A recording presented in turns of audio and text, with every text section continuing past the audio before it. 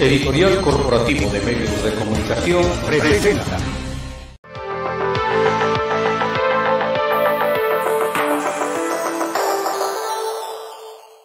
Con el gusto de saludarles, su servidor y amigo Cornelio Orlín Cruz, estamos en el programa número 14, el segundo programa del cuarto mes de Oaxaca en la mira. Y mira, vamos avanzando porque bastante interés sigue despertando este programa que todos los lunes, los lunes como hoy a las 6 de la tarde, estamos con ustedes. Ahora ya en nuestra plataforma especial de Oaxaca en la Mira, ustedes pueden encontrarnos en la red social de Facebook de Oaxaca en la Mira TV 22, así, Oaxaca en la Mira TV 22, estamos en Facebook y también ya estamos saliendo en el canal de televisión digital de SMC Superación TV. Y bueno, como todos los lunes, le doy la más cordial bienvenida. Obviamente ustedes ya lo están viendo en cámara. Tenemos otro invitadazo, como su servidor siempre lo dice. Pero primero permítanme saludar a mi querido amigo, hermano y maestro Raúl Castellán. Raúl. Gracias, hermano. Gracias. Como siempre, bienvenido. Alfredo. Gracias, gracias, gracias. Y obviamente también está a mi derecha mi querido hermano, amigo y supermaestro Alfredo Martínez de Clara. Alfredo, hermano, a la orden, con el gusto de estar siempre con ustedes y más con un amigo hermano como el maestro Giovanni. Muchas gracias. Seguramente será una charla muy interesante. No, y por supuesto que va a estar muy interesante porque no sabe usted lo que nos va a conectar Giovanni, por eso es que nuestros invitadazos, como yo le llamo, eh, siempre son los que han vivido la historia detrás de la historia, como es Oaxaca en la mira. Y se los presento. Les damos la más cordial bienvenida a nuestro querido amigo Giovanni Vázquez Aguero, si es que no me equivoco. Gracias, muy amable. Buenas tardes, gracias por la invitación. Señor Raúl, Fredo, Romelio, gracias por la invitación y, a la orden. Vamos al contrario, pues aquí está, eh, sobre todo, eh, me tomo el atrevimiento de, de tutearte en este programa. Eh, tú llevaste una parte muy importante en proceso electoral, en fin, varias cosas, ah, mucha experiencia tuya y nos tienes cosas muy interesantes que comentar. Entonces, pues yo le cedo la palabra, mi querido Raúl. Gracias, gracias, bienvenido. Gracias. Me da mucho gusto saludarte. Y bueno, dada la circunstancia y dada el, el tono de este programa, el motivo de este programa, Oaxaca en la mira, porque Oaxaca sigue siendo un referente nacional. Y yo diría que incluso en algunos aspectos como el tema del arte y la cultura es un referente mundial. Y en ese contexto acabamos de que, eh, pasar en este año un proceso electoral intenso dentro del contexto de las nuevas condiciones políticas del país. Y ahí eh, tú tuviste un papel relevante porque fuiste el representante ante el órgano electoral del candidato que ganó la elección de gobernador eh, y sobre todo que muchas veces en la política se especula demasiado, se construyen historias, se, leyendas urbanas, leyendas urbanas. Ahora con las redes sociales ah, todo, más fácil, todo, hay más imaginación, puede pasar. Pero lo que fortalece y lo que determina un triunfo o una derrota es lo jurídico, la parte, la legal. parte jurídica, la parte legal y en esa tú pues tuviste un papel importante o determinante eh, y en ese contexto yo empezaría por si tienen están de acuerdo los compañeros por preguntarte cómo sentiste cómo cuáles son los datos duros cuáles son los, las historias detrás de la historia cómo viste los debates y cómo se consolidó el triunfo de Salomón Jara en Oaxaca como gobernador ahora electo. Bien, pues buenas tardes y gracias pues en efecto creo que eh, el derecho es un árbol vivo. Cambiante. La teoría del árbol vivo es fundamental para comprender el derecho. Y cada estación tiene que ir el árbol adaptándose para sobrevivir. Claro. Eso nos ha permitido ir comprendiendo un poco lo que es ser abogado de política, porque que litiga derecho electoral el que resuelve derecho electoral o es juez de política o es abogado de política. Y el triunfo del ingeniero Salomón Jara, hoy gobernador electo, él lleva un peso determinante en la historia. Ahorita veía aquí algunas imágenes históricas que nos mostraba el señor Raúl. y pues cuántas décadas de lucha. 30, 30 años. De 30 años, eso fue de 92. Sí. Entonces él lleva en sí una estructura electoral que fue creciendo y que en algún momento en las coincidencias y coyunturas de la actividad de litigio de la abogacía pudimos conjuntar. Le agradezco la invitación que hizo porque además me dio mucho gusto porque la asumo, asumí con, con, todo gusto. Yo desde mi corta edad, me conozco con el señor Alfredo, yo estaba en la izquierda y ahí es eh, mi origen. Por convicción. Exacto, no somos advenedizos en ese sentido, sino más bien, eh, pero yo estuve desde la parte técnica también construyendo. Yo veo que fue muy importante el pasado proceso electoral, no el de la gubernatura, sino el de los ayuntamientos y las diputaciones, porque ahí se pudo consolidar una plataforma política muy interesante que viniera a sumar estos prosélitos para esta nueva elección. Se sembraron candidatos como coloquialmente se dice. Fue desde mi experiencia como representante, porque desde ahí me inmiscuí como representante del partido, fue al único actor político que a mí me tocó ver, el ingeniero Salomón, que fue a defender a sus compañeros ante los órganos internos del partido para que los procesos internos de selección de candidaturas de diputados y ayuntamientos fueran reales, se fueran estableciendo. Porque hay otros referentes políticos dentro de Morena también que hicieron algunas postulaciones, pero una vez que alcanzaban el objetivo, gracias y se retiraban. Y él no, él estuvo ahí, por eso luego los señalamientos, que, que es imposiciones, etc. Entonces creo que fue muy interesante esa parte, a mí me tocó verlo, a mí me tocó hacer los registros de los candidatos a diputados, de los candidatos a ayuntamientos, de los 153 que se eligen por el sistema de partidos políticos.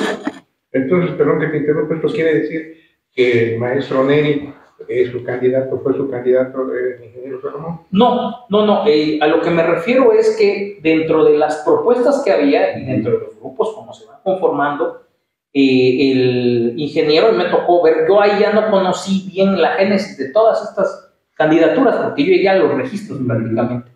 Entonces no, no puedo distinguir con exactitud, pero sí me tocó ver que era el referente político que estaba al pie de cañón a la hora de las candidaturas, a la hora que se abría el Sistema Nacional de Registro, a la hora que estábamos en la pugna por completar planillas, por, empujando, moviendo gente, poniendo estructura, movilizándose. Con visión construyó su plataforma. Eso, eso creo que es muy importante traerlo a la mesa. Claro, claro, para entender el desenlace. Exactamente. Porque después de una forma muy natural, algunos eh, presidentes, diputados que ganaron, dicen, bueno, me sumo también a un esfuerzo que se está realizando. Sí, había de hecho un compromiso político y moral, ¿no? Y además, eh, ahí fue muy insistente en defender posiciones claves, llámese elección como la de Huatulco, Mm, Salina Cruz, Ochutla, los municipios más importantes. importantes, incluso en algunos de ellos, como Salina Cruz, me tocó hacer la defensa legal de esa elección, eh, porque estaba muy al pendiente. El ingeniero Salomón me decía, oye, ¿cómo va Salina Cruz? Mm, Habíamos ganado por 2.500 votos y de repente se meten a la bodega. Así es. Fue, una, fue un litigio fuerte. Se meten a la bodega Y le dan la vuelta. y dan la vuelta, anulan, fíjense, en las boletas de las casillas donde había ganado Morena por, vamos a suponer, 380 votos Morena, 100 votos el PRI. De repente era 0 votos Morena, 480 votos el PRI. Ah, caray. En los recuentos de voto por voto. ¿Qué pasó ahí? Cuando me empiezan a bajar la información, me doy cuenta que en esas boletas, donde estaba la marca para Morena, le ponían no y le ponían una palomita en PRI y le decían sí, Ah, Oye, y, y todos pues, lo hicieron físicamente. físicamente. O sea, físicamente. ahora, ahora Como en los tiempos de- O sea, que- Sí, Sí, es que papacheo. digo yo, aquellos tiempos, porque ahora no se cayó el sistema, ¿no? No. Sino ahora lo que se cayó fue la bodega. Ahora, ¿qué pasaba? Que el Consejo Municipal Electoral sabía qué paquetes iban a ser objeto de recuentos Ah, por las causas específicas de recuento. Claro. donde la diferencia entre primero y segundo lugar Era mínima. es mínima, donde el voto nulo es mayor a la diferencia entre primero y segundo lugar, donde este, hay una, un error aritmético en el escrutinio y cómputo, no coincide el número de boletas extraídas de la urna con el número de votantes, las causales de ley, ese voto por voto, casilla por casilla, que fue herencia de la lucha de Andrés Manuel López Obrador, ¿no? y que se, in- se incluyó en ley en las distintas reformas electorales. Entonces sabía bien y específicamente a esos paquetes se metieron y los operaron. Pues de repente de una elección de 2.500 que no estaba como representante en mi radar de conflicto, de foco rojo, había otras que sí teníamos, habías ganado Claro. por 200 votos, por 600 Más votos. apretado, ¿no? De repente vemos que es la que empezamos a perder. Entonces hacemos la intervención, este, entran a revisar la bodega, encuentran la tabla roca rasgada, vidrios rotos, pintura, de este material que se llama Redimix para resanar. Y, digo, se metieron a la bodega, no está bien. Digo, a ver, hay cámara en la bodega. Eh, pregunta al presidente del Instituto Electoral, entonces me dijo, "Oye, oye, presidente, necesitamos... Claro, copia del. Obvio. Es la única cámara que se robaron la memoria. Muchas coincidencias, ¿no? Entonces nos metemos a defensa fuerte, tuvimos que cambiar a los representantes ante el comité Sí, municipal, principal. pedir que trajeran el, el cómputo a Oaxaca, Las oficinas. la Guardia. Nacional interviene, trasladan todo, me nombro como representante ante el Consejo Municipal y encabezo directamente el cómputo para empezar a verificar. Lo primero que pido al iniciar la sesión fue tráiganme las constancias individuales de recuento para que empecemos a Para cotejar, pues sí. No hay, Ah, caray. No hay, se fue el presidente, se fue la secretaria, se llevaron sellos, se llevaron todo. Vamos a las copias de las actas de escrutinio y cómputo. Empecemos el cómputo. la- en las urnas. Las urnas. Pues sí. Las fidedignas. Reconstruimos la historia. Se ganó por los más de 2.500 votos que tenían. Pero esa es una, una experiencia que les comparto porque desde ahí creo se empieza a construir un triunfo de Morena en la gubernatura. Mm. Defendiendo desde esa parte Los técnica triunfos municipales. los triunfos municipales e ir a los voto por voto. Por ejemplo, la elección de, de Cochutla no la anularon. La anuló el Tribunal Electoral. Sí. Sí, ¿no? Sí. Fuimos a la sala regional Jalapa, la litigamos, la levantamos, la defendimos en sala superior y se confirmó. Cochutla tiene gobierno también de Morena porque llega a través de un litigio. Ujú. ¿no? Y ahí en la, en la historia que da para el anecdotario nos trajeron a ex magistrados de la sala superior a litigar de manera directa esos temas. Ah, pues por parte del PRI. por parte del PRI, por parte de las otras fuerzas, fueron contratados, los trajeron a litigar, pero ¿Quiénes vinieron? ahí lo dejamos ahí lo dejamos, pero, Déjame pero, pecar pero Oaxaca es tierra, pero Oaxaca es tierra de abogados. Pero, pero además, ¿hasta dónde se aventaron, no? Sí. O Vino sea, que se- Daza. Ahí lo dejamos a la imaginación del auditorio. Lo único que les digo es que yo les pedí la confianza, les pedí a los presidentes candidatos en ese tiempo la confianza y decirle, a ver, pues Oaxaca es tierra de abogados y, me siento con la capacidad de defenderlos. Claro. Le dije al ingeniero Pido mano. Claro, porque esos son los temas que, que tenemos que enfrentar. Que son- esos son los adversarios que, que- que queremos enfrentar. Afortunadamente salieron bien, se ganó, eh, se tuvo la estabilidad en diputaciones, algunas otras pues, se perdieron también, desde luego, pero había puntos neurálgicos que creo que no teníamos que descuidar, que tuvimos que poner ahí el tesón, se gana y una vez que se gana esto, pues el ingeniero nos dice, oye, ¿por qué no te quedas Claro. como representante para lo que viene? Así ¿no? es. Y, y de ahí se arranca un tema interno ya, el Ujú. proceso interno de Moreno, Sí, claro. que tenía que pasar por varias cuestiones. ¿Y Por cómo varias aduanas. ese, ese proceso ya que lo tocas? Es decir, porque hubo un momento en que por lo menos las especulaciones apuntaban que finalmente la candidata sería Susana Jar. ¿Qué pasó ahí? No, ¿Cómo se definió? eh, hubo una encuesta, eso es, o, o hubo varias encuestas. Tres, tres finales, ¿no? Claro. Tres. Eh, ahí yo, yo creo que hubo la intención, yo lo he, lo he dicho en medios, no puedo decir lo contrario, creo que hubo una intención de externos al partido que se quisieron meter para apoyar y debilitar alguna candidatura que iba muy perfilada y que era muy fuerte y que así quedó demostrado que fue la del ingeniero. Ujú. Y en su momento, en el proceso interno, fueron las reglas muy, muy claras. O sea, va a haber una medición, pero al final de cuentas, estatutariamente, quien tiene la determinación última es la Comisión Nacional de Elecciones. Eso sí. Ahora, si, si recordamos un poco el devenir de la historia que platicamos fuera de cámaras del proceso de, de derecho electoral, que está, es incipiente, Sí. Eh, se obliga a través de una reforma electoral en el 2012, ¿no? una intermedia por ahí por el 2007, otra, el 2014, que es la última la que nos rige, a establecer medios intrapartidistas de defensa. Que no lo existía. que no existía. En, en el no- y ahorita quedaba el dato de 1994, por ejemplo, recordar que el JDC, que es el juicio para la protección de los derechos políticos electorales del ciudadano, Así es. está en pañales, lo podemos decir para los jóvenes que estudian Derecho y que están ahí, está en pañales, y lo digo así, porque nace en el 97 Así es. y nace como un medio de impugnación que era prácticamente para el que no le daban su credencial de elector. Sí, fue la primera. Y hoy se convierte en un medio de control constitucional Total. enorme que te tiene una elección sin problema. Así es. Sí, porque el gran debate de las reformas anteriores, de las iniciales que dieron creación al IFE, fue precisamente eh, el tema del padrón electoral, el tema de los representantes, el tema de la estructura, el tema del acceso a los medios de, de comunicación, pero pensar en aquella época en estos temas de impugnación No, y de, y de impensable. derechos incluso ciudadanos. Así es, sí, sí, claro. No, no, no se contemplaron. Había ese- eh, un estado de, de indefensión para Total, el ciudadano. total, ¿no? Total. ¿Se, se acuerdan de un caso Oa- Oaxaca, perdón, se acuerdan del caso Oaxaca? Sí, claro. Güero Chepete. Así es. Ajá. Lo quitó el Congreso. Sí, sí, por supuesto. Nunca pudo defenderse.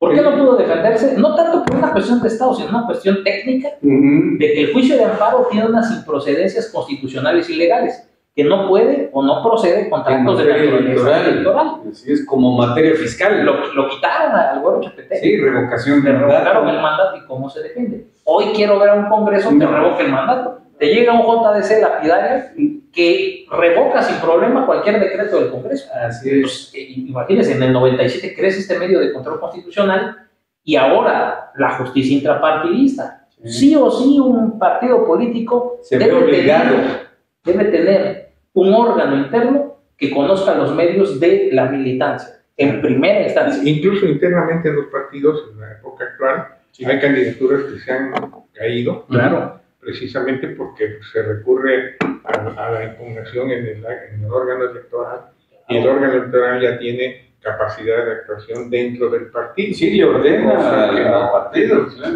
Claro, que salen, salen estos órganos, por- pero además generan un acto reclamado ya con efectos vinculatorios para que quien tenga legitimación procesal activa pueda recurrir ante tribunales. Por supuesto. Y si los tiempos le dan a votar la cadena impugnativa, va en primera instancia al tribunal local Así y en segunda instancia se trata de gubernatura, se va directo a sala superior. Sí. Si se trata de elecciones municipales o diputados, va a sala jalap y todavía en recursos de recurso tienen una, una Y dentro de, perdón, dentro de lo que estás diciendo de cómo eh, se construyó esta candidatura de esta elección, y te refieres precisamente y ponderaste de manera muy destacada este ámbito del tema municipal, de las diputaciones, como una forma de arropar, diríamos, eh, complementar la- una estructura para apoyar a, a quien hoy eh, el gobernador electo. Yo agregaría algo más, si me permites. Yo, yo creo que la, la, la candidatura de Salomón Jara eh, es resultado de toda una serie de procesos internos de la izquierda a nivel nacional y en Oaxaca. Es decir, eh, como bien lo apuntaste, creo que tú también lo comentaste, pues eh, Salomón Jara es un activista político Consumado. desde hace, Uh, por lo menos, décadas. para mí, de que yo lo recuerdo desde hace 30, 30 años, 30 años, sí. cuando, cuando fui el primer candidato del PRD de la izquierda en Oaxaca, él ya era un activista, Sí, sí. tenía una gran presencia en la costa de Oaxaca, La OCDE. en la UCD, Ujú. participaba, él estuvo muy cerca, y, y yo creo que todo esto que hoy se consolida, tuvo ya un primer escenario en la elección anterior a, a- a la actual de Alejandro Murat, donde ganó eh, otro, otro- otro personaje, ¿no? Que ganó la coalición que se decía de izquierda, Ujú. que tuvo una actuación muy desasiada, es lo que dicen. Yo no estuve aquí esos años. No, yo sí lo. Este, Lo Yo sí viví. la- Eh, pero vamos, eh, pero independientemente de que ese fue un primer, hacer, un primer triunfo, digamos, de una coalición de izquierda, porque Sí, sí, claro. se asumía, eh, creo que la más consolidada por la historia personal y por todo lo que ha sido la lucha de la izquierda en México y en Oaxaca, es la, el triunfo de Salomón Jara. Y de verdad creo que eso es un gran compromiso para él y para Y- todos los que lo acompañen. Los que integren su, gabinete legal y ampliado. Porque una cosa es ganar y otra cosa es gobernar.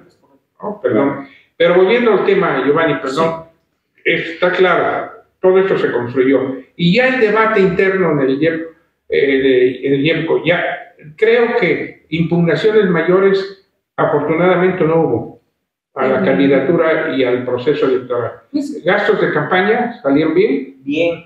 Fu- Fuimos muy cuidadosos, la verdad, que fuimos- traíamos una experiencia a nivel nacional. Pa- Para mí fue muy grato el hecho de de repente uno se centra en, en el ejercicio profesional.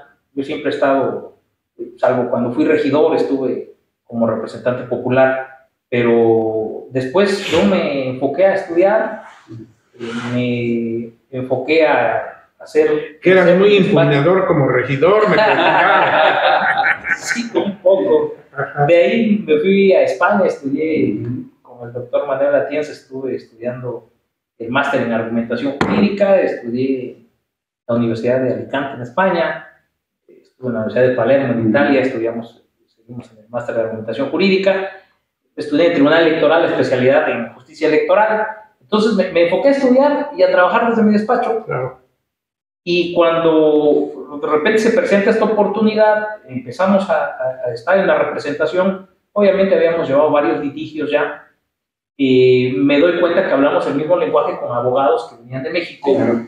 y que pues, para mí fue gratificante que dijeron, ay, te pasamos la estafeta y este, creo que vamos bien. Hubo una parte para mí fundamental que fue que logramos inaplicar un artículo de la ley electoral de. Oaxaca.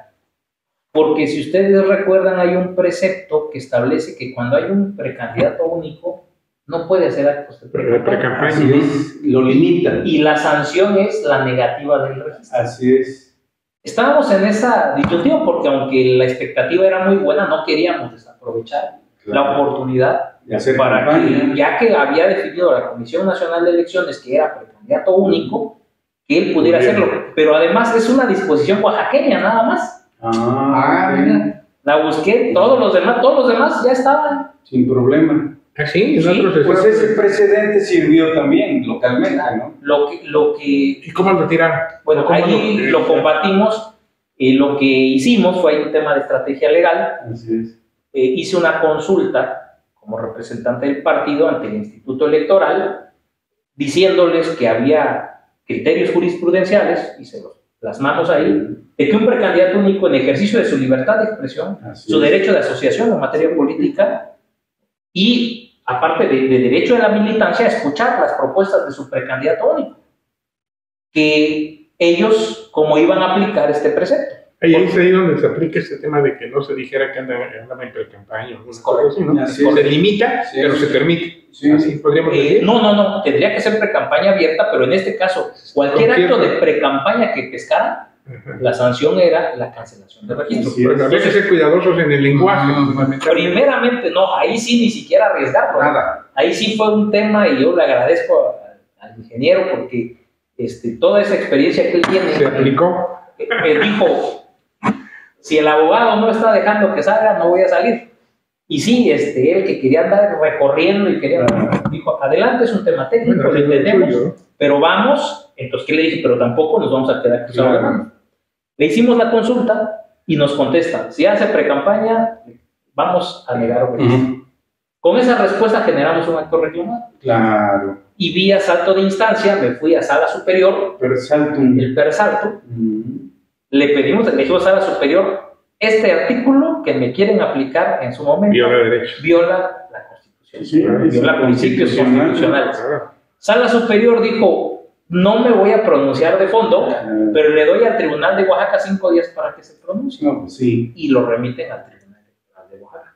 El Tribunal Electoral de Oaxaca, pero es un recurso de apelación que, que promovimos, entra al fondo, analiza, venimos a hacer alegatos, venimos a meterle, eran eh, 30 días este, de pre-campaña, 40 días no recuerdo ahorita, pero exactamente a la mitad de la pre-campaña nos dan la razón y en un control difuso de constitucionalidad inaplican el artículo y dicen no, no se le puede aplicar. Él puede hacer actos Ah. de pre-campaña y nos dio exacto tiempo fuera de cualquier posibilidad de rebasar incluso topes de gasto de pre-campaña, porque Sí, ya era la mitad nada más, sí, pues ya. que dio tiempo exacto para que se desplegara. Fíjate qué interesante eso que está Por platicando. supuesto. Porque eso no se conoce. Así Ah, no. es. Es la historia detrás de la Eso no se historia. conoce. ¿no? Y es fundamental jurídicamente porque no falta Ah, falta claro. quien diga o argumente, ah, es que este candidato Así violó la ley. Así Lo, lo que sucede, pues, Sí, que es parte del debate La político descalificación es lo más fácil y sencillo, ¿no? en ese contexto. Yo tengo dos eh,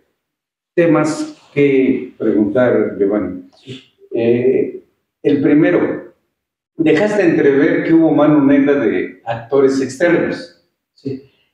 ¿Incluyeron al gobierno en turno? Porque se habló de que incluso le facilitaron eh, personal a Susana para manejar medios, etcétera, por un lado. Y por otro lado, eh, bueno, y se utilizó también en su momento a personajes de la propia izquierda como Flavio Sosa para tratar de dinamitar la eh, candidatura del ingeniero. Primero. Segundo, estuvo a discusión nacional el tema de la paridad sustantiva, que había fundado temor de que procediera y se le nominara candidata a la senadora. Porque planteaba que eran tres y tres, ¿no?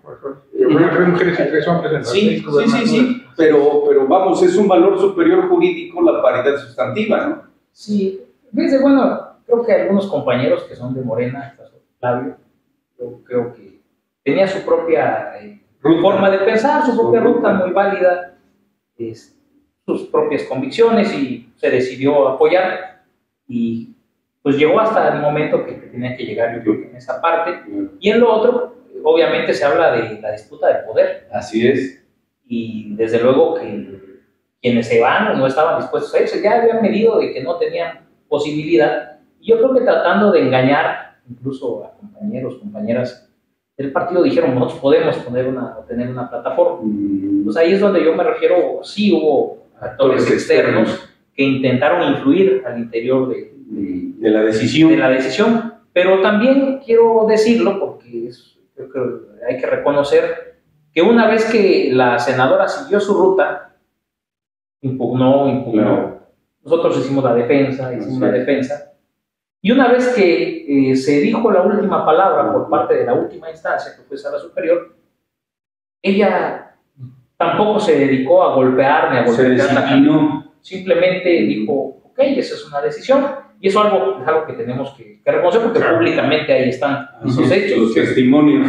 Y antes de que hubiera una decisión final, claro, ella estaba en su lucha. Su- Válida, legítima, Y, además es natural, ¿no? Y, y creo que eso es parte incluso de algo que se... Obviamente tiene muchos bemoles el tema de las discusiones internas en los partidos, Claro. pero creo que la democracia interna de un partido, Eso si es- queremos consolidar la es eso. democracia global, Así pues es. hay que empezar por tener un proceso democrático interno. Sí. Y ahorita que mencionabas, por ejemplo, a Flavio, a mí me parece que la actitud de Flavio, pues en ese contexto es correcta. Él, él consideró que, que quería apoyar con su eh, organización a Susana y lo hizo y lo hizo de manera correcta. Y tan es, eh, ha reivindicado su posición como integrante o miembro de Morena y de todos los tiempos que tiene también luchando dentro de la izquierda, que creo que recientemente ya fue incorporado, incorporado nombrado como miembro Consejo. Consultivo, ¿no? Entonces, yo creo que es parte de eso, Son los, parte de los Sí, temas claro. que tienen que haber. los bemoles. Pero además, un, antes, en la recta final de la campaña, él se sumó. Se sumó, por supuesto. Abiertamente, Sí, sí, sí, ¿verdad? Sí, Claro. Abiertamente. No, como abiertamente en su momento apoyó a la senadora. Yo creo que, ah, digo, eso no tiene que espantar, al menos a mí no. No, pues es válido. Es válido ¿no? Son peores las traiciones, Exacto. Sí, claro. porque también eso Ah, no. sucede. Ahorita recordaba yo un tema, eh, pues precisamente cuando no había todo este contexto de defensa de los derechos De internos dentro del partido, interposición de de recursos, eh, de recursos, de etcétera. Cuando yo fui candidato a presidente municipal después de haber sido gobernador, eh, una elección cerrada en la Ujú. que ganó Pablo Arnott, el candidato del PRI era David Palacios y yo era del PRD. Y me, acordaba, me acordé hace rato por lo que comentabas de Salina Cruz, de la revisión que fueron a hacer de actas y de todo, sin que, eh, que, que finalmente en aquella elección, que, que la diferencia entre el primero y el tercer lugar fueron 400, 500 votos, hubo actores del mismo partido que en algunas colonias donde tenían influencia hicieron o comentaron o ¿qué hicieron, operaron Ujú. Para que- el para que, para que ganara el prima, ¿no? Entonces, un poco me acordé por lo que tú dices ahorita que platicabas de revisar. También nosotros revisamos en aquella época las actas y también era muy simpático, ¿no? Porque en general, este, la ballistocracia y todas las colonias, pues las votaciones eran muy cerradas, ¿no? En algunas Pablo iba arriba por 20, 20 votos, en otras David ganaba por 5, en otras yo ganaba por 10, Sí. etcétera. Pero hubo algunas colonias que controlaba un cierto grupo Sí, sí, sí. Que finalmente cuando revisamos las, las colonias, no, pues ahí el PRI se iba 50 votos o 100 arriba, el PAN se quedaba estabilizado en lo suyo y yo me iba abajo, ¿no? Sí. Obviamente en aquella época no había chance de, hacer nada, ¿no? Menos incluso internamente, ¿no? Claro. También queda para la historia, ¿no? Sí, la historia detrás de la historia. El escenario de- actual del derecho electoral es eso y es vertiginoso. Si no Muy te actualizas, cambiante, ¿no? te, te- te va, te va devorando también. No, y como todo en la vida tiene sus pros y sus contras, ¿no? No hay mal que por bien no venga. Hoy finalmente es obligación electoral, político-electoral, respetar la paridad sustantiva. En Oaxaca, ya no solo a nivel nacional, ¿no? Fíjense que hablando de ese tema y retomando un poquito esto que preguntaba, eh, para mí el litigio de la senadora no fue nuevo. No, por supuesto. Les voy a decir por qué. Eh, en el marco del proceso electoral, eso fue muy importante, haber estado en la representación Ujú. que me dejó la experiencia. Yo tuve cuando menos 40 litigios de Morena contra Morena Mm, eh, y no tumbaron ninguna candidatura. Pues fui encontrando eh, los precedentes, fuimos sentando los precedentes y Oaxaca, como usted lo, iniciando el programa lo decían, es punta de lanza siempre en, cultura, en comida, eh, pero en- también en, en- en grilla. Claro, No, a ver, pues simple y sencillamente, hay que ver ahorita ya el proceso interno para la candidatura presidencial de Morena. Ah, por supuesto. Los cuatro Sí. principales están, Dándose con todo. no, deja todo eso, están presentes en Oaxaca. Ah, ¿sí? Oaxaca, Ya claro, tienen bueno. activistas, ya tienen representantes. Antier, el sábado vino. El sábado, sí, finalmente no llegó. Ah. Claudia no llegó por- porque fue lo que sucedió el sábado fue que eligieron a Héctor Sánchez como el coordinador o representante de la campaña de Sheinbaum Ah, en Oaxaca Ajá. y ya posteriormente se incorporará Claudia. Lo comento porque el viernes platiqué con Héctor eh, sobre estos temas Claro. y me aclaró de qué se trataba. Por eso no vino Claudio. No, no, no, Claudia no tenía que venir Ah, porque ok. era la- Ah, en nombre de ya. Claudia, pues. ¿no? Seguramente vino alguien tal vez Porque la invitación era muy clara. Sí, pero sentido, estaba, ¿no? estaba con, yo creo que no se, no se planteó bien, pero a mí lo que me dijo Héctor fue que a él lo iban a elegir o Ah, lo eligieron, ok, ok. ¿sí? Como el coordinador de la campaña general. de Claudia, de Claudia Sheinbaum en Oaxaca, Sí. así como me parece que Alberto Esteban lo es de, De Marcelo, Marcelo Marcelo Ebrard. Este, y ¿Quién es el de Ricardo Monreal en Oaxaca? No, no, no, No, no, ¿no? Creo, creo que en esa parte están más enterados ustedes que yo. yo, yo, yo lo que he visto es que han venido este, a hacer Todos. actos de gobierno. Sí. No, no, este, no han venido como... Ah, bueno. Ah, no, bueno. de gobierno, ¿no? A ver, Por eso, eh, creo que están más enterados Digo, que no nos grilles, ¿eh? Nada más. Entre gitanos nos tenemos la mano. Digo, el, el- el evento que se va a Dan Augusto también, ¿no? Sí. Vino a explicar pues, Pero de es exactamente. A Siendo Por eso. corcholatas, ¿no? O sea, vino, vino a explicar algunas cosas. No, pero, pero vamos, a lo que vamos volviendo al tema que comentábamos de Oaxaca reverente. Así es. Por supuesto. Sí, tiene que venir a Oaxaca. O sea, y es el primer estado en el que están viniendo las costolatas, ¿no? Están yendo a otros, pero no lo, no lo publicitan tanto Como Oaxaca. como, como el hecho de estar en Oaxaca. exacto. Porque el, el que han- cuando han estado en Oaxaca, sí ha sido Ah, sí. Hasta eh, medios nacionales, referente porque viene nacional, equipo de medio nacional. etcétera. Y hay razones nacionales que lo explican. Primero, Juárez, para empezar. Sí, sí, históricas, ¿no? Históricas. Pero además actuales. La prioridad para el gobierno de la 4T del sur-sureste, ¿no? Eh, el, el megaproyecto prioritario del corredor interoceánico, ¿no? Y, por otro lado, la cuarta parte de municipios del país, Pero además, que no es cosa las claro. altas. Oaxaca, a quien sea candidato de Morena, le da arriba de un millón de votos en una elección. bueno, pues Entonces, se los dio a, a a- a Manuel. Y yo diría que hay otro elemento más, que, que, que es subliminal, Mm. pero que está presente. Sí, claro. Que para el presidente López Obrador, Oaxaca es como su segundo estado, su segunda patria Él lo ha dicho, Chica. ¿eh? Él lo ha dicho, Él lo ¿no? ha dicho, Patria sí. chica. Aunque tal vez parece que lo quieren más en Oaxaca que en Tabasco. Tabasco, bueno, pues sí. Entonces, Imagínate, 33 veces que ha estado aquí en Oaxaca. no, bueno, ese venía, yo lo recuerdo desde las Ah, no, bueno. 90, que, Como presidente, 33, pero digo, ha venido. sí, no, muchísimo. ¿no? muchísimas él- y además, aquí Creo se que ve- conoce Oaxaca más que cualquier otro Sí, gobernador. ¿eh? y llegaba tranquilamente. Yo recuerdo un acto en el que me hizo favor de acompañarme en- en- por cuando competimos por la presidencia municipal y luego salimos y me dice, ¿qué vas a hacer? No, digo, pues lo que quieras, oh, perdón que me exprese yo de, de- Con de- esa de- de confianza. esa confianza. Y cercanía. Le acompaño, es, voy a la sección 22 del centro y luego nos vamos a echar un café.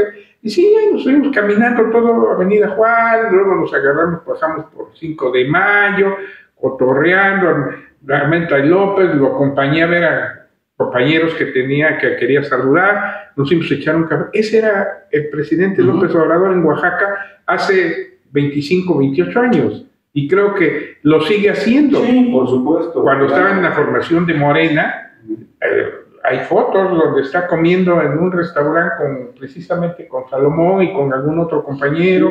Vamos, hay gran afecto de él y eso cuenta, ¿eh? Eso cuenta. Por Definitivamente. supuesto. Entonces- Abre la llave, hermano. Entonces las, Sí, cua- sí, las sí. cuatro corcholatas tienen razón de venir a Oaxaca. Ah, pues sí. Que falta Noroña, ¿eh? Digo que, que está más Que me dijeron que, oye, te hago una Dice provocación. Giovanni que él no sabía nada de él. Te hago una pregunta, que dices que no sabes porque dicen que estás con Noroña. Loroña, Loroña, dice mi presidente. Es No. provocación, ¿eh?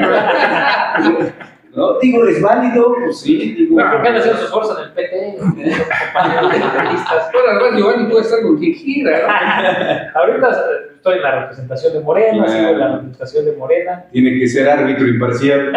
y ahí los compañeros que tengan que, que hacer sus procesos internos, pues Claro. tienen, tienen Claro. que seguir en. Oye, pero ya para concluir el tema del proceso Sí, sí, electoral, finalmente una calificación eh, sin, sin mayor contratiempo, sin impugnaciones, Sí. habría que reconocer que seguramente desde el punto de vista jurídico en eso tú tuviste también que ver y, y creo que hay que reconocérselo porque Claro, no, pues, a veces lo que en este negocio lo que Lo menos que hace menos se hace es reconocer a quien colabora o que participa, Sí, que los es- méritos en que, campaña. que es pieza importante Claro. en un proceso, ¿no? Eh, pues, no tuvieron ningún problema Sí, ya, ¿verdad? Veníamos de dos eh, descalabros fuertes, Sí, claro. el caso Morón, el caso del Toro. Guerrero, el es, caso de. Michoacán, que les habían bajado de la candidatura, Sí, pues a Félix, ¿no? precisamente por eh, no haber cuidado algunas Las formas legales. Así es, ¿no? Era un tema eminentemente jurídico. Las formalidades que son indispensables, ¿no? Entonces, eso nos hizo a nosotros tener Ser extremadamente cuidadosos. De entrada, eh, puedo comentar, final están los datos ahí, en la estrategia de fiscalización tuvimos que meternos, el Nacional mandó también parte de la estrategia de fiscalización, lo legal sí nos lo dejaron acá, me pidieron estar en la representación del INE, del Instituto Electoral, y fue fundamental primero la capacitación de la estructura. Eso es indispensable. Entonces, Sí, que no cometan errores. Claro. Que no cometan errores, porque detalles. más ahora, ¿eh? Sí, Mira, claro. Perdón, porque yo luego traigo anécdotas de otros No, tiempos, pero pero, pues es la experiencia, o sea, es, es- pero en la 39, cuando precisamente Héctor Sánchez gana en Cuchitán, que esa es otra historia, pero a lo que voy es esto que sí, los errores. Eh, para una elección prioritaria ese año eh, municipal era Guajuapan. Sí, claro. Porque el gobernador era Eladio Ramírez Ah, sí, y tenía mucho interés en ganar Guajuapan. Pues sí, como Entonces, orgullo, ¿no? Mandó como operador político del PRI a Mario este, Álvarez. Álvarez. Lucas. Álvarez Lucas, que era su secretario particular. Eh, y él, de alguna manera, supervisó la- que salieran bien las cosas. Fue una elección muy cerrada en Guajuapan. Y eh, cuando ya termina la votación, empieza el cómputo de casillas. Y hay un resultado, y luego el comité municipal eh, tenía que ir a entregar, digo, los directivos de casillas tenían que ir a entregar la- las urnas o, al comité Sí, municipal. Es decir, hay un procedimiento, Sí, sí, sí, sí. ¿no? Y entonces, en una casilla que era fundamental, que le daba 200 y pico de votos de diferencia al PRI, y que eran los que le hacían ganar al PRI en Claro. Mario se acelera y se sube a los funcionarios de casilla y los lleva cuando todavía no terminaban bien de De elaborar la papelería. y se van en la camioneta elaborando la papelería y van los del PAN también ahí en la camioneta y- pero los llevan urgía ya ir a Sí, sí, sí. ir validando el triunfo ¿no? Claro. Bueno, pues ese fue el motivo de impugnación de precisamente de una forma Claro. que se descuidó y fue una gran discusión en la Comisión Estatal Electoral de la que yo era presidente adjunto y política. Sí, claro. Pero fíjense lo que, lo que sucede. ¿Hasta dónde ¿Hasta trasciende? dónde no? trasciende? Llega un momento en que también para el PAN se convierte, obviamente Guajuapan, en un, La joya de la corona.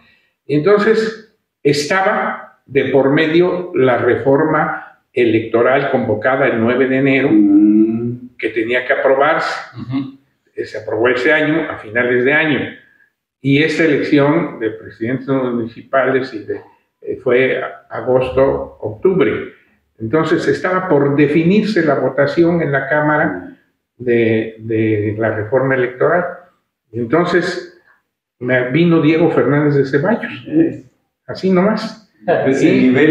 Y hubo una reunión con el gobernador este, Eladio Ramírez, estuvo, me acuerdo que estuvo Héctor Hugo Olivares, que era el representante de- delegado del PRI, Poncho Zorrilla, que era el secretario general de gobierno y presidente de la Comisión Estatal, su servidor, que, era el presidente adjunto y su secretario de gobierno, y una o dos gentes más. Ríos Camarena, me acuerdo que era muy, era muy Pues cercano era el asesor jurídico, asesor de- del lugar. Y entonces todo el mundo dio sus argumentos de que por qué no se violaba la ley, que- porque además eran endebles, ¿no? En cierta forma, sí se había violado, por la mitad de cuentas, ¿no? Pero vamos. Y entonces Diego dijo una cosa lapidaria. A ver, gobernador, yo te digo una cosa. Está de por medio la votación para la reforma electoral del presidente Salinas. Y si Guajuapan no se reconoce como una eh, Como un presidencia del municipal, un triunfo del PAN, nosotros nos retiramos y no votamos.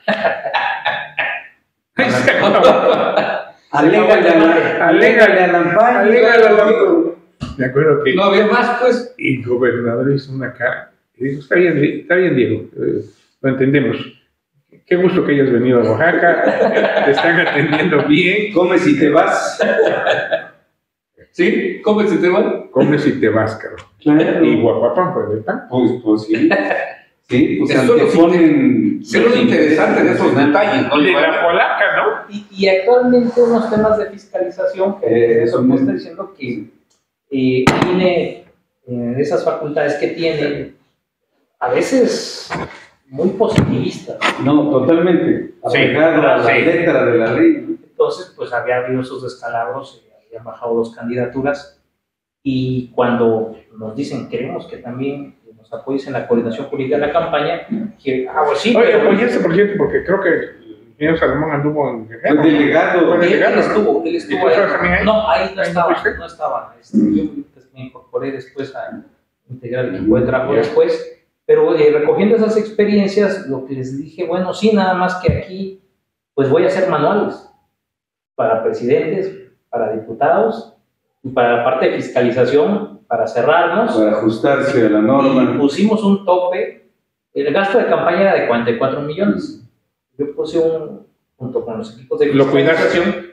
cuidamos esa parte, Un margen menor. para 30% ajustarnos. menos, y hasta acá podemos gastar. Para hacer cualquier ajuste. Cualquier, cualquier multa, cualquier gasto no reconocido, cualquier gasto que llegaran a considerar como tal, tener ese margen de 30% para no meter en riesgo el Para cuadrar de los números. campaña.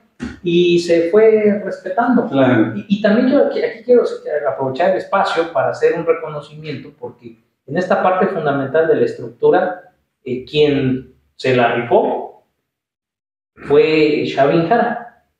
Él El llevó hijo. la estructura, El hijo.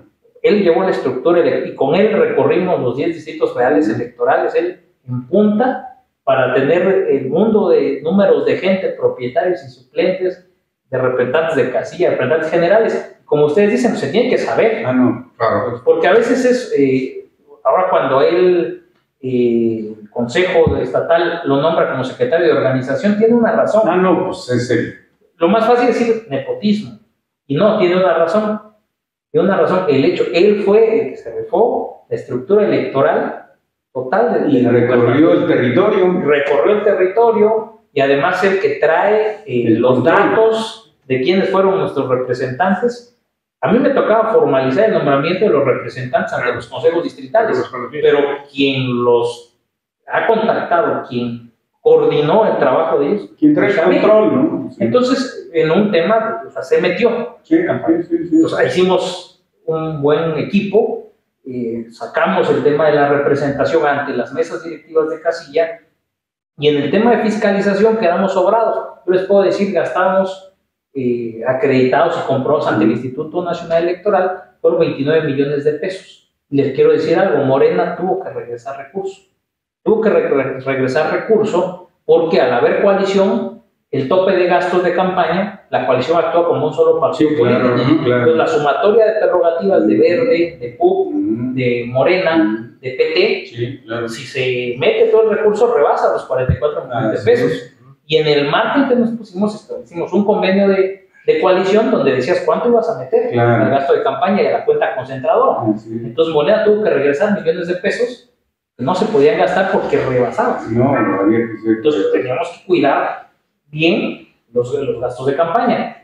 Cuando ya se da todo esto, como concluyendo, se da la diferencia grande de votos, se cuida, teníamos las actas, Claro. eh, de ma- de litigio electoral, lo único que se la copia al carbón, me cansé de decírselo a, este, a los representantes, nuestros representantes ante las mesas de casilla, este, y se los decía Ah, 10 esto- veces en el curso, se los decía 10 veces en el curso, me acabé la voz en esos días, pero después fue muy satisfactorio porque con actas en mano Sin podíamos problema. decir cualquier distrito, cualquier distrito en los cómputos, vamos a la defensa sin mayor problema. Y creo que fue algo que vio también el PRI como segundo lugar, y vieron los otros partidos, Que no procedía ninguna impugnación. que- que era prácticamente... Perder el tiempo. Claro, tuvimos que platicar Así es. tuvimos que platicar con ellos, conozco a los compañeros de las representaciones partidistas, que en su momento decía, bueno, ¿cuál es el fin práctico de tu medio de impugnación? Ahorita, digo, la verdad es que con la diferencia que tenemos, No procede. este, desde luego que vamos a hacer la defensa, pero tenemos un equipo ya listo. de- la izquierda perdió muchas veces elecciones y por eso Bueno, sí. y fuimos aprendiendo. Yo fui, no fui víctima de, de esas derrotas, pero fuimos aprendiendo. ¿Y qué me hizo? Pues, conformar un equipo fuerte. Tuvimos 250 aproximadamente eh, procedimientos especiales sancionadores en contra del ingeniero Salomón por actos de pre-campaña, Sí, de sí, sí. de campaña, propaganda, difusión. Sí, sí. Puedo decirles nada más, en uno solo nos amonestaron Mm. uno solo. Los demás no hubo, hicimos, nos fletamos ahí la defensa, solamente tuvo un- una. una. Do- dos cuestiones. A ver, eh, la primera que deja entrever una preocupación ya general, especialmente en los medios y los periodistas. Un gran vacío, un gran problema en todos los partidos políticos de ayer y de hoy y los gobiernos, salvo honrosas excepciones, es la falta de información, de comunicación política adecuada y oportuna para evitar estas eh, acusaciones no del todo fundadas, ¿no? como en el caso, en el caso del Chavín, por eh, ser hijo del gobernador electo. Eh, hay el temor generalizado de que no haya la visión ni la sensibilidad para llenar ese vacío con información adecuada, oportuna de la nueva administración que está por entrar. O bien que se busque un control absoluto eh, con medios propios como el Soberano del Sur, que ya apareció, ¿no? Eso por un lado. Por otro lado, en materia de financiamiento, bueno, pues sabemos eh, lo que es el mundo del ser y del deber ser y cómo de hecho Muchas veces se rompe el tope de campaña triangulando ¿no? el financiamiento. Se habló en esta campaña, particularmente de Morena en Oaxaca, que hubo financiamiento externo de algunos personajes que todo parece indicar integrarán el propio gabinete del gobernador electo. Eh, ¿Tuvo eh, esa percepción, maestro? No, no, fíjese que, que no, eh, realmente a eso me refería cuando hablo de la importancia de la elección pasada. ¿Por qué? Porque realmente no le costó al ingeniero Salomón llegar a las, al lugar que quisiera llegar, tenía capital político. Y no es como en algunas campañas, en otras que también me tocó participar, que tenían que llegar y métele para llevar gente. La verdad es que o sea, estaba sobrado. Los 570 municipios que recorrió tres veces él, el municipio que quisiera ir tenía alguien que lo conocía y que lo recibía. Y ustedes vieron de, menor a mayor, ¿eh? En los municipios pequeños de sistemas normativos indígenas, donde llegaba, podrían ver los actos de campaña de 50 personas. y ahí estaba el candidato a gobernador. Y fueron creciendo, y fueron creciendo, y fueron creciendo hasta tener actos de mucha gente. Por eso es que no fue costosa mm. como tal la campaña. Mm.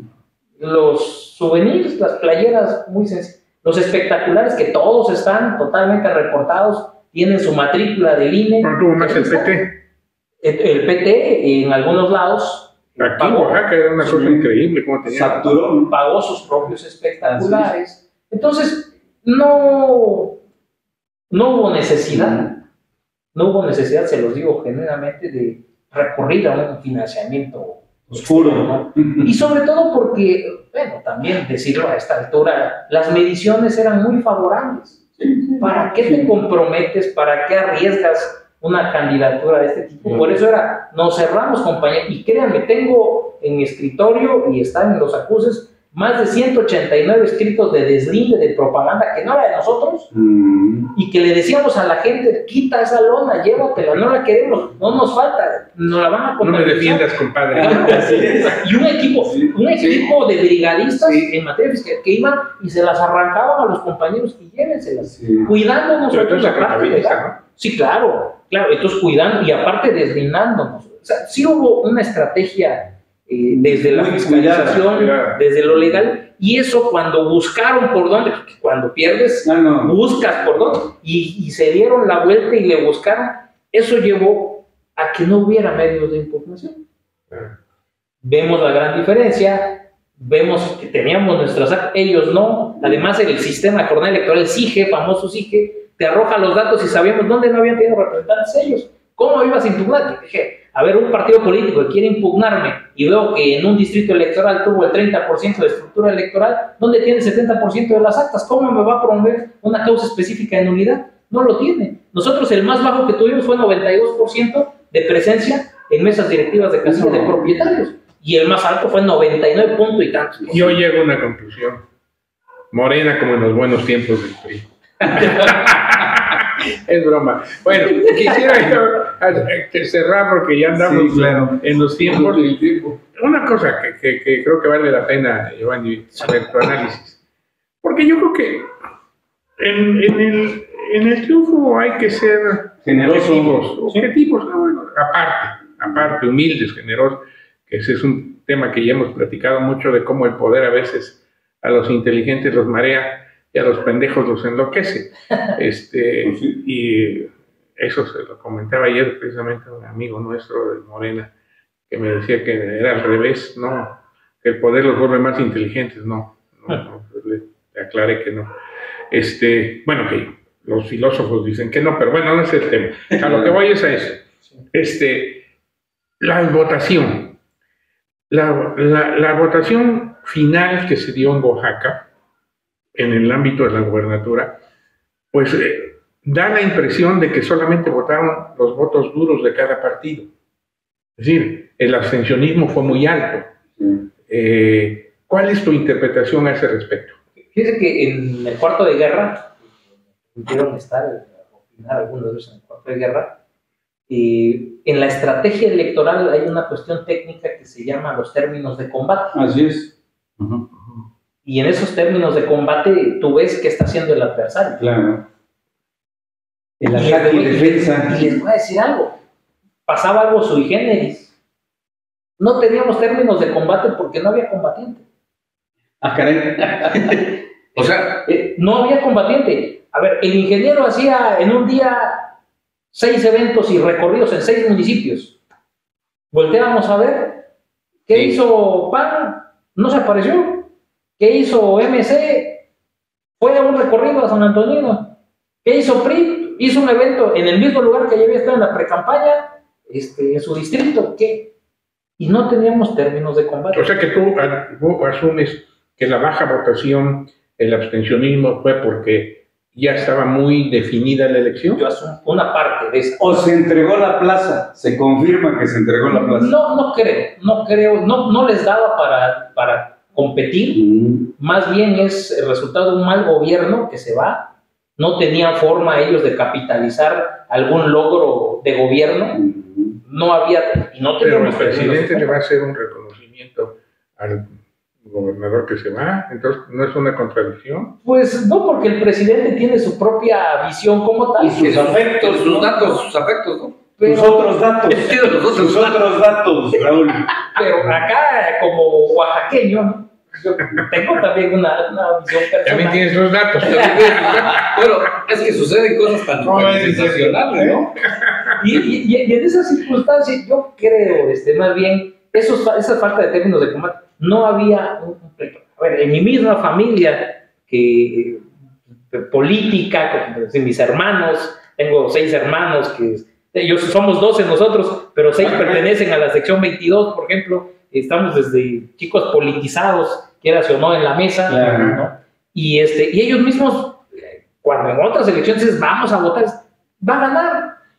Estaban, O sea que se dio el ¿Para clásico de que, pues, ¿para qué no? Si todos modos ya, Ya ganó. Está muy definido. Pero estarás de acuerdo que eso implica un compromiso Claro que sí, de buen gobierno. claro que sí, porque además la expectativa en las mediciones que se han hecho es muy alta.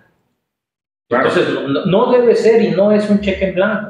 ese, eh, Y no solo expectativas, sino expectaciones Sí. en torno sobre todo de los perfiles de quienes integren el gabinete legal y empleado. Porque no está discusión que se gobierne con familiares, con amigos, con compadres, nada más que con una condición indispensable si se quiere hacer un buen gobierno, con perfiles. Sí, claro. Claro, yo creo que es un compromiso que, que- Hay un filósofo político que dice que en política hay quienes dicen ya llegué. Y él argumenta que en política nunca se llega. En política se está. Y se puede estar en primera, en Y segunda, se en tercera línea, permanente. y a lo mejor nunca llegar. Así es. Y que en este contexto lo fundamental es precisamente el tener la capacidad de asumir el poder para servir y sobre todo para hacer las cosas bien. Yo, yo la suscribo esa definición, ¿no?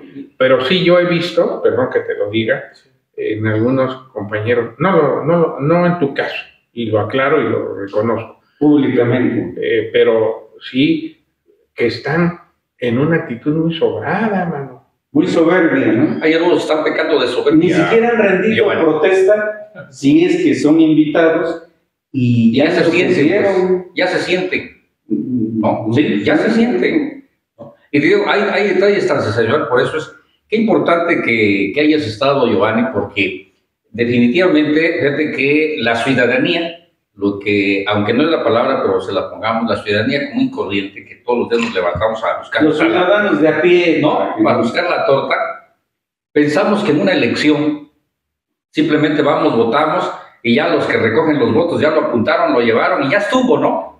Y no saben todo este proceso y toda esta responsabilidad, como lo decía mi hermano Alfredo, Raúl, de que en un inicio del programa que decíamos que prácticamente eres el, el hacedor del, del, triunfo del gobernador electo, ¿no? Ojalá, ojalá. Por eso, a ver, en este, en este terreno. Gracias.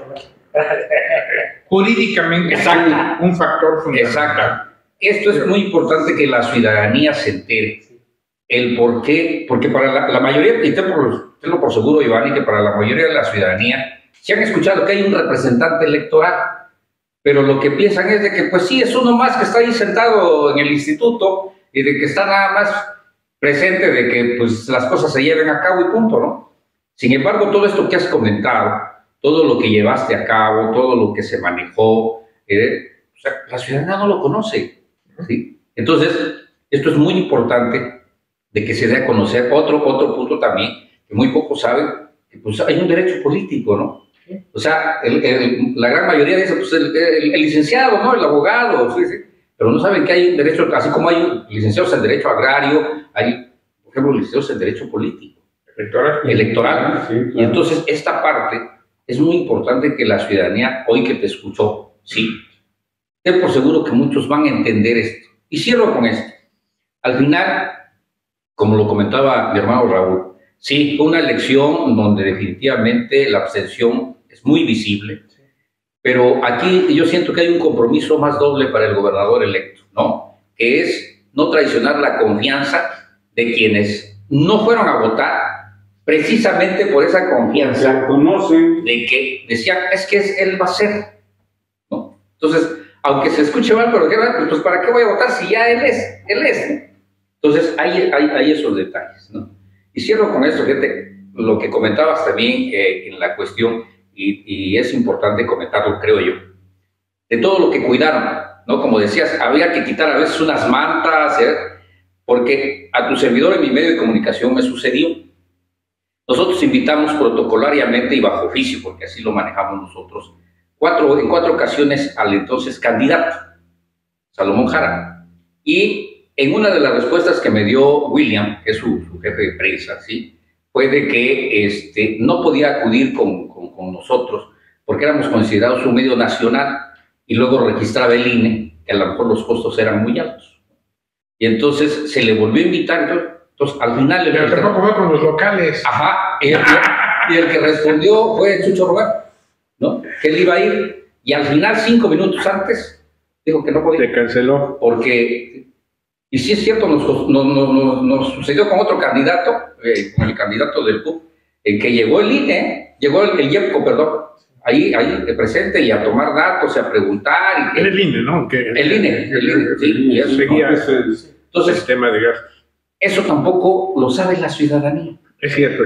¿sí? Eso tampoco lo sabe Por la eso es que muchos se dedicaron a, a hacer cosas No. globales. Y piensan de que como medios de comunicación nos llenamos las bolsas de dinero con, con las candidaturas, ¿no? Pasa algo. Sí. ¿No? De, de hecho, una reforma electoral que fue en el 2007, si no me equivoco, después de la elección de Peña, pues, se prohíbe la venta de espacios a candidatos. Así es. Y además, llegó a tal grado la sanción que la reforma constitucional establece como causa de nulidad de la elección, causa de nulidad especial. Sí, eso, eso La compra de muy espacios. clarita, ¿no? Entonces, y, y ahí sí fuimos muy cuidadosos. Por ejemplo, en el, en el marco de la precampaña y este proceso interno que tuvimos que cuidar, únicamente llegamos a un acuerdo como equipo que era mejor que era un tema de litigio Así que no se tiene que estar ganando en los Claro, ¿para medios. se meten en broncas? Es Entonces- correcto, es correcto. Por eso también. Pero sí hay que regularlo bien, ¿eh? Sí. Definitivamente. y ya como pues, gobierno Giovanni. es otra cosa. Claro. Todo esto me lleva a, a hacer una pregunta, dada la cercanía que tiene con el gobernador electo y la confianza. Eh, ¿Ha observado que el ingeniero Salomón escuche y continúe, si lo ha hecho con esa actitud de sentarse con todos y escuchar? Digo, finalmente la decisión es suya, pero por lo menos de permitir esos acercamientos, porque un vacío evidente, como se ha estado comentando, es la falta de acercamiento con los medios. Digo, seguramente tuvo su razón de ser, pero ya no Campaña. como gobierno. Exacto. No, fí- fíjense que les comparto que, por el contrario, eh, se tuvo una jornada muy fuerte, muy intensa, eh, de acercamiento con muchísimos sectores, Ujú. pero además con muchos eh, actores también Sí, claro. y técnicos.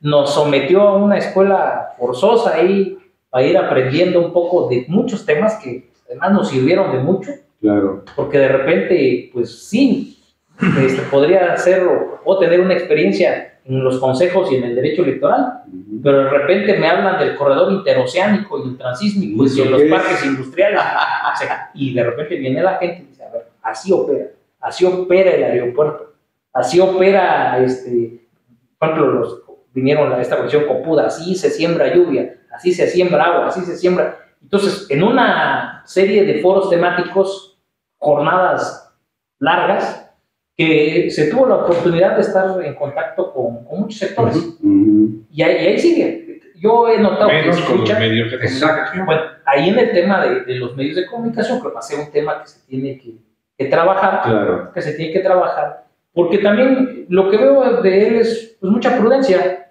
Ahorita estoy seguro de que él ya está trabajando en cuál va a ser su equipo, quiénes serán los que lo acompañen, va a estar tomando definiciones y él va a estar entonces teniendo que, que ir comunicando. Y él dijo que va a dar a conocer el- su gabinete legal y ampliado a mediados de noviembre. de este mes. Entonces, falta poco para que él, eh, haga Que fíjate que, perdón, eh, voy como abogado del diablo que lo, lo- lo asume ese papel aquí, Alfredo, pero la verdad es que no le sale bien. no, no, no, no me sale. No, Pero- no, aquí a Fer- Ah, no, bueno, no, Alfredo sí le sale toda madre. Este, pero sí leí, además ayer o antier una nota que el día 8, eh, creo que era, ¿no? como todo en redes, ¿no? Hay que tomarlo con Si es el reserva. día 8, pues es mañana, Raúl. No, pues sí, mañana. Sí, porque claro. hoy está, es lunes 7. No sé, Pero a ver, perdón que lo diga, pero es mi opinión, ¿eh? Puede estar equivocado, pero me parece que es innecesario que un gobernador electo dé a conocer Sí, 20 o 22 días antes de su toma de posesión a su gabinete o al que va a ser su posible gabinete. ¿A qué lo expone? Al Pues a golpeteo. que los empiecen a madrear, mano. Sí, sí, sí. ¿no? O a lo mejor los va a poner, eh, si los quiere poner a prueba para ver qué dicen de ellos, me parece que mm, él ya los conoce mejor a Obvio. todos. Y segundo, cuidando las formas institucionales, yo creo que lo correcto es, perdón, es mi opinión, ¿eh? Eh, debería ser hasta el momento de la toma de posesión. ¿Cómo ha sido? El ¿Cómo ha mismo sido? día, ¿no? O la víspera. Vamos, ¿qué ganas con dar un gabinete antes de tiempo en medio del informe del gobernador que se va, en medio de el homenaje que le va a venir a hacer el presidente al gobernador que se va? Este, creo que es innecesario. Y concluyo, ya para acabar el programa, bueno, cuando tú lo indiques, por supuesto. Claro. Aquí el jefe es el jefe. Ya, ya está nervioso con su teléfono, mira, ya está. Sí, pero ya ves que tiene compromiso que ya, Precisamente que, los que lunes. ya lo están esperando y que como Dios manda, ¿no? Lo, lo que acabo de ver nada más. Tiene que la al medio kilo de comida. cebolla. Pero, No te hagas esperar a una dama. No, ya dile, pues, termina de decirle que ya, Ya. vas, hombre, que, que no hay Ya voy, problema. que ya voy. Acuérdate de ese medio kilo de cebolla. ¿No? Bueno, no, pero ya no te voy a preguntar porque se ha comentado en los corrillos y tampoco estamos en ese tema. ¿A dónde vas a estar? Porque evidentemente... ¿Cómo van a premiar tu trabajo? No, no lo diré. Bueno, ok. Sí, lo dejamos de así. alguna manera es un reconocimiento. Claro. ¿no? Sí, claro. Porque has hecho un trabajo digno y creo que eso hay que reconocerlo, independientemente de que pueda haber coincidencias, no coincidencias o lo que tú quieras, pero yo creo que en la vida siempre hay que reconocer a quien hace algo que, que es digno, Hace bien su trabajo, que hace bien ¿no? su chamba, Claro. y tú lo has hecho, Giovanni. Gracias. Y por eso Sobradamente bien.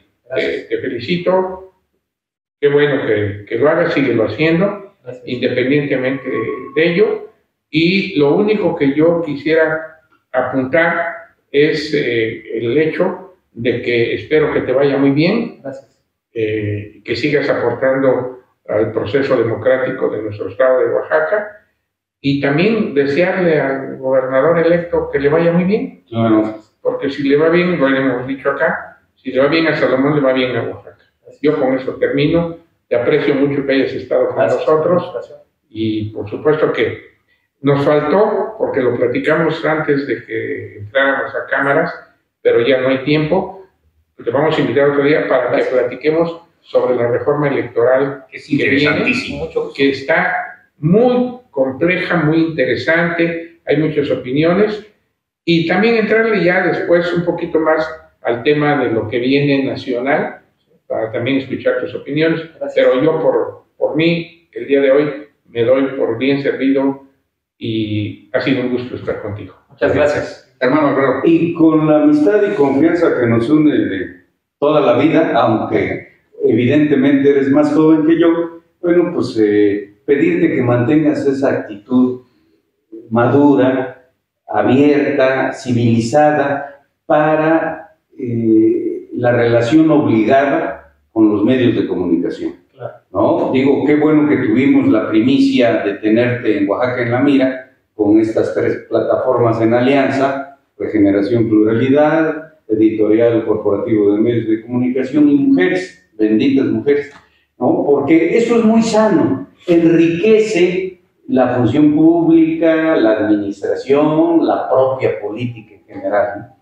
Te felicito, lo he hecho, jamás te he regateado un mérito, ¿no? Y entonces, bueno, pues nuevamente reitero mi reconocimiento hacia ti. y agradecido con que hayas aceptado la invitación.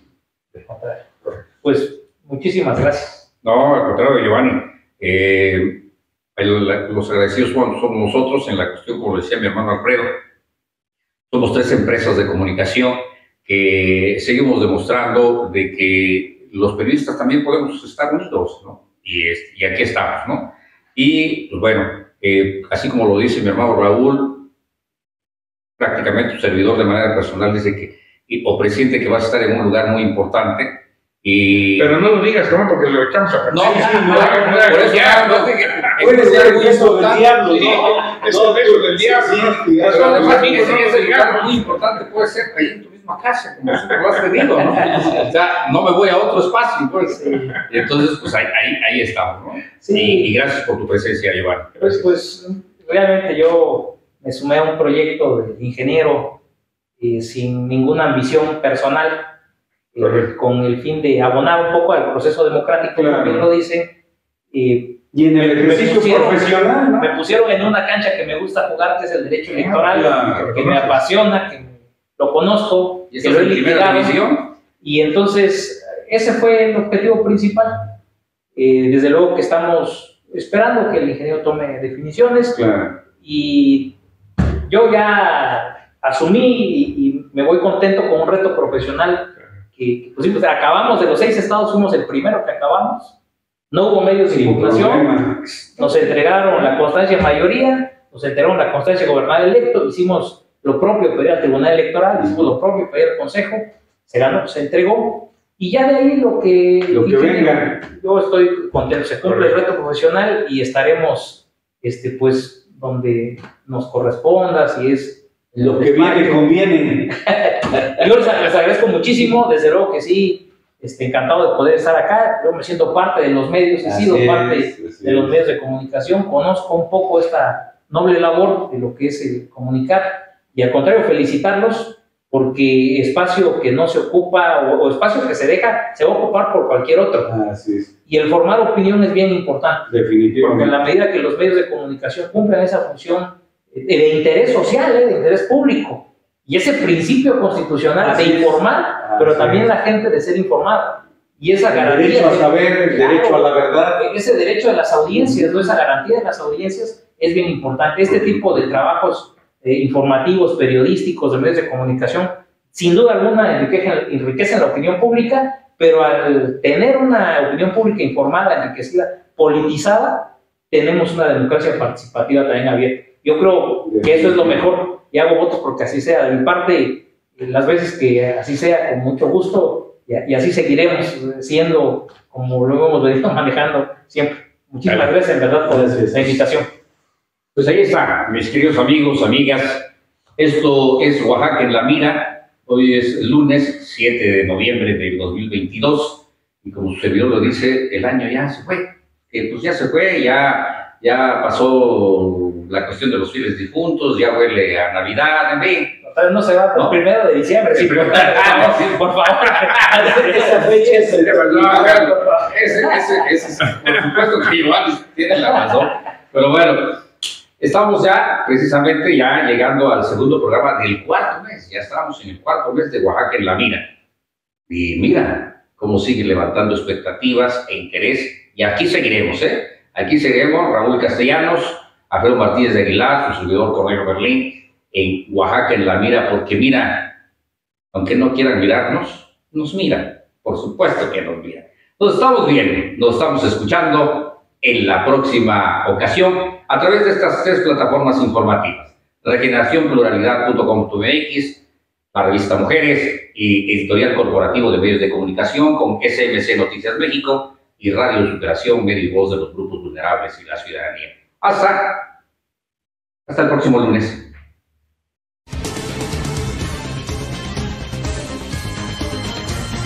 Editorial Corporativo de Medios de Comunicación presentó